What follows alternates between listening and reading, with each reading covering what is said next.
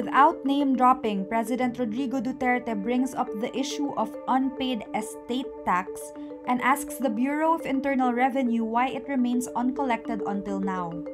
Duterte mentions the estate tax issue Tuesday, March 29, while justifying his decision not to halt e-sabong or online cockfighting operations. While the president does not provide any details on this estate tax, the only estate tax that has become a campaign issue is the Marcos family's unpaid 203 billion peso estate tax. One of the Marcos heirs, Ferdinand Bongbong Marcos Jr., is the frontrunner in the 2022 presidential race.